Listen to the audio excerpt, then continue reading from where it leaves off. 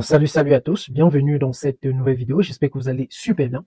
Dans cette vidéo, je vais vous donner des points clés que vous devez maîtriser pour devenir développeur backend Python en 2024.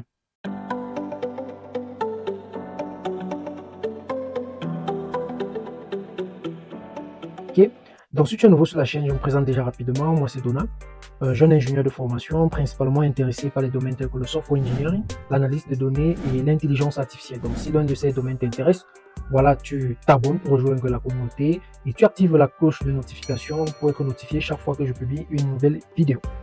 Cela est dit, nous savons déjà tous que les développeurs back-end, ce sont des gars qui aiment la logique. Nous sommes d'accord. Donc, premier point, vous devez aimer la logique. Donc là, il n'y a pas encore de Python. Donc, pour être développeur back-end, quel qu'en soit le langage, premier point, vous devez aimer vraiment la logique. OK? Donc, ça, c'est le premier point. Deuxième point, vous devez maîtriser le langage Python. Nous savons tous que le langage Python est l'un des langages les plus utilisés aujourd'hui.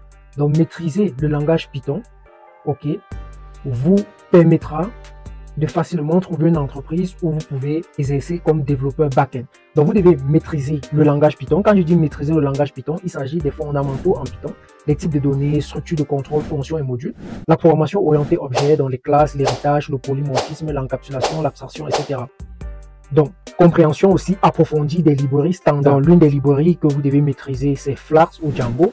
Ok, on sait que Flask c'est fait pour des petits projets, pourtant Django est fait pour des grands projets.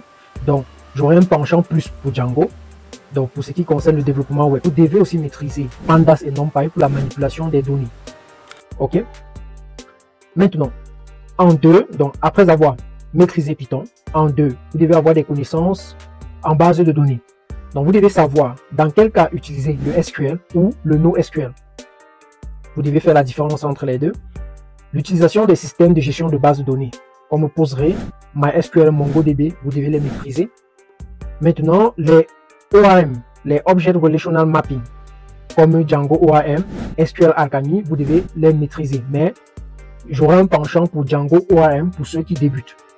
En trois, pour le développement web et les frameworks, vous devez maîtriser le framework soit Flask ou Django.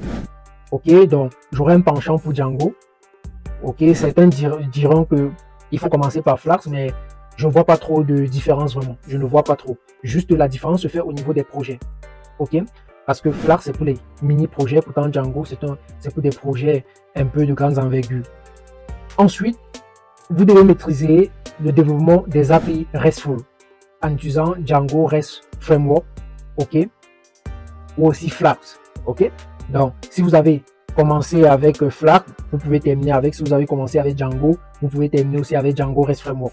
D'accord Maintenant, aussi, toujours dans le développement web et les frameworks, vous devez maîtriser les bonnes pratiques pour le développement sécurisé et scalable. Vous devez vraiment maîtriser cela. Quelles sont les bonnes pratiques en termes de sécurité niveau back-end? Quelles sont les bonnes pratiques en termes de, euh, de scalabilité? Est-ce que cette application que vous développez, est-ce que c'est scalable avec le temps? Ensuite, vous devez aussi maîtriser l'authentification avec le JSON Web Token ok, et la gestion des sessions.